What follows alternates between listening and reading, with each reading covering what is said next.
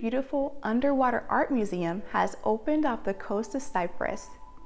The unique sculptures are made of high-grade marine steel and a pH-neutral concrete that promotes underwater life. They are crafted on land before being lowered into the warm, shallow waters of the Mediterranean Sea. The sunken forest will be accessible to divers and snorkelers, and also provide foundations for new marine habitats to develop around the artificial structures.